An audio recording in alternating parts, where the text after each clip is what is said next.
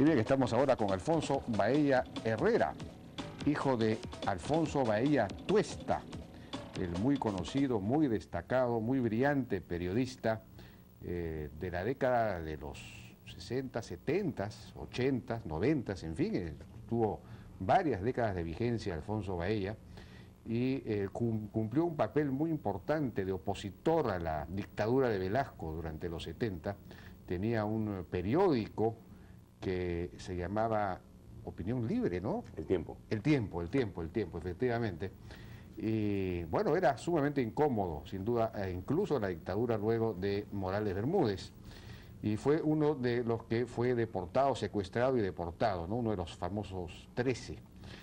Pues eh, eh, estamos acá con su hijo, con Alfonso Bahía Herrera, pero antes vamos a pasar un extracto de las declaraciones de hoy día del general Francisco Morales Bermúdez, las explicaciones que él dio sobre este asunto. Adelante.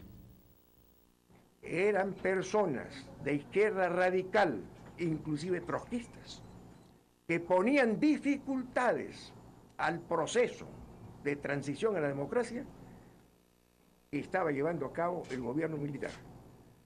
Transición a la democracia que era la meta fundamental Sí, yo estoy manifestando, sigo manifestando que el Perú no tuvo razón para entrar al Plan Cóndor.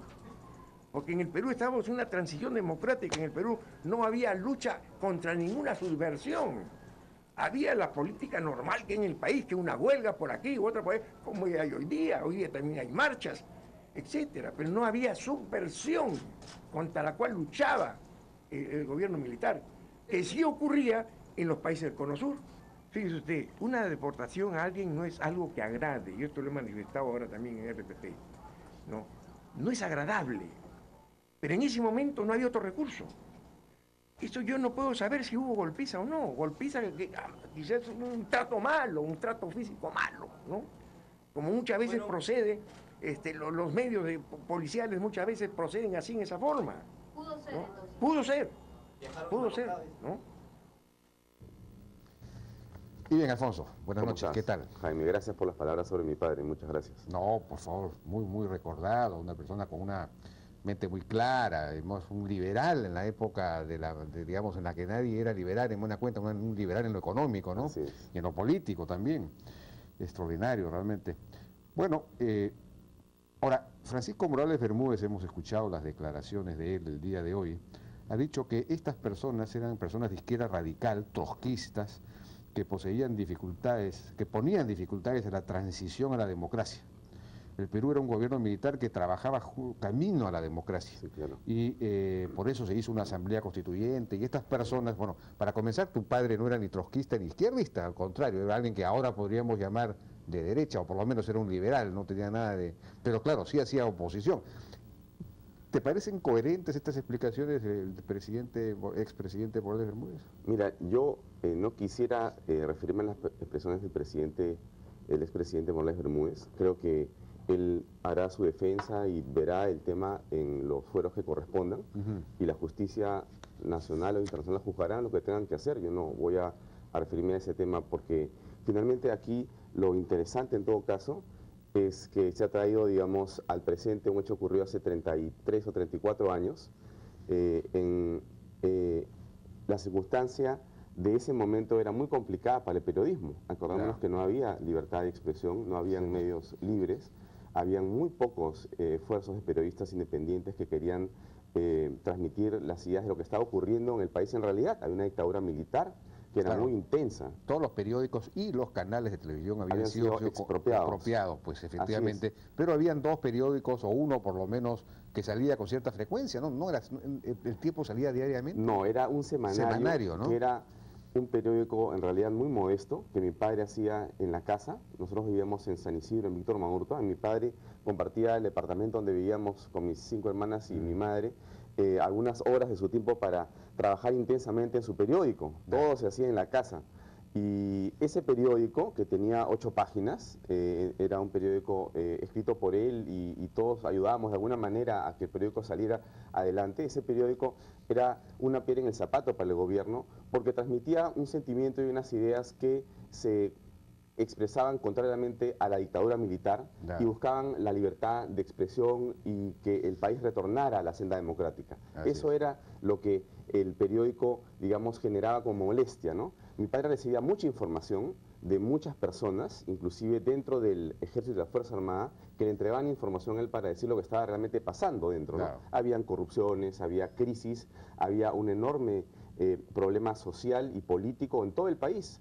Recordemos que el momento en que se produce la, deportación, había una huelga general nacional en marcha. Entonces era un momento político de una enorme efervescencia y ahí es donde lo toman a mi padre eh, detenido. Mi padre era un hombre que escribía eh, sobre la democracia y sobre la libertad de empresas sobre la libertad de expresión. Él lo que quería era, gobierno. Claro, lo que quería era que hubiese democracia. Entonces, por, supuesto. entonces deportarlo por oponerse al retorno a la democracia suena pues un poco raro, ¿no? Eh, es, una eh, incongruente en todo caso. El gobierno en realidad eh, no le gustaba que hubiera crítica alguna. Mi padre había estado en el gobierno de Velasco, que había antecedido al gobierno de Morales Bermúdez, había sido intentado de asesinar, de detener, había tenido que buscar asilo político en embajadas como la Argentina, mm. etcétera. Era una situación muy complicada. y entonces en esa circunstancia había tenido inclusive habíamos tenido que e, emigrar del Perú hacia Venezuela, qué curioso. ¿Emigraron? Claro, nosotros en pues, el año 76 eh, la situación aquí era imposible de manejar para mi padre, no tenía ya cómo trabajar. Y mi padre decidió vender la casa en Monterrico, en las Tres Marías 339, y dijo, bueno, lo siento, ya no, no se puede, porque acá es imposible. Lo venían a buscar los policías, tenía que saltar por las paredes de la casa para escaparse porque lo querían meter preso, lo querían matar. Dijo, bueno, mira, eh, tenemos a los chicos, le dijo mi madre, y nos fuimos todos a vivir a la Venezuela que era la Venezuela de oro, digamos, ¿no es cierto? Porque era, era, una, era un país espectacular, ¿no? Yo, me acuerdo, tenía eh, nueve años, diez, cuando fui por primera vez a Caracas, nos quedamos algunos meses ahí mientras mi padre trataba de instalarse, y era una cosa, un país bellísimo, ¿no es cierto? Que era exactamente opuesto lo que es al Perú, y es exactamente opuesto a lo que pasa hoy, ¿no es cierto? Nadie sería Venezuela, creo, en este momento, porque ocurre una situación de una democracia muy endeble, ¿no? Por decirlo de alguna forma. Entonces, ahí, en, esa, en, esa, en, esa, en ese gobierno de Velasco, cambia el régimen, entra Morales Bermúdez y mi padre regresa a hacer su tiempo, su periódico El Tiempo. Y ahí comienza a pelear contra Morales Bermúdez, ¿no es cierto? Y ya contra la corrupción en realidad. Y ahí se produce este, este incidente, ¿no? La, la, casa Víctor Maurtua, que es en San Isidro, es cerrada en la mañana del día 24 o 18 de mayo, si no me equivoco, un sábado, es cerrada por unos eh, vehículos de la Policía de Investigaciones, que era la PIP, recordarse en ese momento se llamaba así, la policía que te investigaba, y eh, creo que 40 hombres este, cubren las calles. Mi padre no tenía pues ni una onda para, sino su máquina de escribir que sonaba, pues, ¿no? Claro, claro. Y bueno, subieron por las escaleras, esperaron hasta que tocaron la puerta y le dijeron, el ministro del Interior quiere eh, conversar con usted, que era el eufemismo que siempre se expresaba, ¿no? Así que mi padre decía, bueno, ya me imagino que esta conversación, después de todo lo que yo he escrito, debe ser un poco larga. Entonces le dijo a mi madre, prepara un maletín, ¿no? Eh, mi padre sacó unos libros de... Él había escrito el, Poder Invisible y El Miserable, dos libros muy interesantes sobre política en el Perú. Se los regaló a los policías que lo iban a detener y fue con mi madre en el carro de mi, padre, eh, los llevaron hasta Ciudad del Estado, escoltados por cuatro patrulleros, cinco patrulleros, no sé cuántos, y finalmente lo detuvieron. Y ahí estuvo tres días hasta que ese se declaró en huelga de hambre. Ajá eso produjo ya una sensación de hartazgo de la policía que lo tenía y él eh, eh, había pedido ya un habeas corpus y se movía, había venido el fiscal a verlo. Mm. Era todo un problema, Bahía está metido eh, junto con los que iban a, ser, iban a ser los otros deportados, ¿no? Y de repente en la noche se produjo los acontecimientos que los llevaron a todos en unas camionetas a el grupo 8 y ahí se produjo una pelea, ¿no es cierto? Claro, mi padre comienza a escribir el libro cuando lo detienen, en realidad. Tu padre ha escrito un libro sobre todo esto, famoso este secuestro. se llama Secuestro, que en realidad es lo que ocurre, ¿no? Esto no es una toma de una detención inocente, ¿no? Claro, claro. Esto es un secuestro con todas las agravantes que corresponden a una persona de un Estado que te toma, te, apresa y te conduce sin ningún documento ni identificación a otro país. Claro. Y en el camino les pega. No sé si a mi padre le pegaron, eso no me lo contó él, pero lo que sí contó en el libro fue que le pegaron a otras personas. Porque mi padre comenzó a escribir el libro, él era un taquígrafo espectacular, ¿no? Entonces él tomaba nota con taquigrafía y tenía papel y lapicero. Entonces cuando comenzó a ver que había este problema, dijo, aquí puede haber una noticia importante. Entonces dijo, voy a ponerme en la posición de periodista y no en la de agraviado necesariamente, ¿no claro. Entonces comenzó a tomar nota y les tomaba declaraciones a todos. Entonces el libro es una crónica de lo que ocurre. y ocurren cosas interesantes. Porque... Bueno, y efectivamente hubo esa golpiza en, eh, eh, de que de alguna manera Morales Bermúdez ha dicho que él no está informado de eso, etcétera. Bueno, hubo la golpiza, la golpiza existió, por supuesto que sí, porque eh, Letts y otros personajes eh, como Díaz Canseco, eh, Hugo Blanco, en Apurí, sobre todo, que era una persona que estaba muy reacia y muy contestataria a los policías que estaban en esa situación y lo que estaba ocurriendo ahí, eh, dijeron, nosotros no vamos a, subir al avión, y entonces se paraquetaron detrás de unas sillas, en el grupo 8, y eran 20 policías o 30 contra ellos, y comenzó una pelea dantesca, y, en esa pelea estaba Hugo Blanco, ¿no? Y Hugo Blanco se palpaba siempre la cintura, y mi padre había visto que se palpaba la cintura como, como si tuviera un arma escondida, ¿no? Eh, creo que Hugo Blanco había sido eh, detenido por terrorismo eh, ya antes. Claro. Y, y entonces... él había sido guerrillero pues de la convención. Claro, entonces mi padre cuenta en el libro, hay un momento en el que se produce la... la va, va, a comenzar la pelea y, y Hugo Blanco se, se, coge un bulto que tenía acá y, y retrocede y como lo saca, ¿no? Entonces mi padre dice, parecía un arma. Entonces mm, dice mi viejo que retrocede y Hugo Blanco saca una bolsita y la echa al suelo. Y eran unos piezas de ajedrez, de un ajedrez que Hugo Blanco había tallado durante su prisión. Y le dice a mi padre, ¿quieres jugar una partida? Y entonces ¿En ese momento? Claro, entonces mi viejo le dice, ¿pero qué me estás diciendo? Es que cuando estoy muy estresado y muy nervioso, juego ajedrez.